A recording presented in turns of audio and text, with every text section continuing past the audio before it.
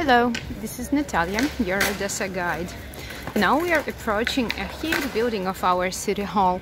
The building of the city hall was actually constructed as one of commodity exchanges and it was constructed in the beginning of the 19th century. Then, in the beginning of the 20th century, it became a city hall and of course it was decorated with uh, columns and sculptures. The sculpture on your left is the goddess of fertility, Serera.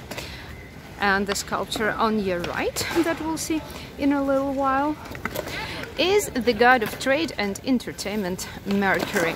On the top of the building there is a huge sculpture which symbolizes day and night. It is the eternity of time.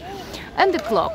This clock is the largest clock of Odessa city and uh, this clock rings every hour and plays the melody from the opera of Dunayevsky called White Acacia. It's actually the anthem of Odessa and everybody knows the lyrics. If you walk around the square, you can see flags of Ukraine, Odessa region and the European Union because Odessa has a plan to join European Union at some point. Here you can see a big cannon, which is a reminder of Crimean or Eastern War.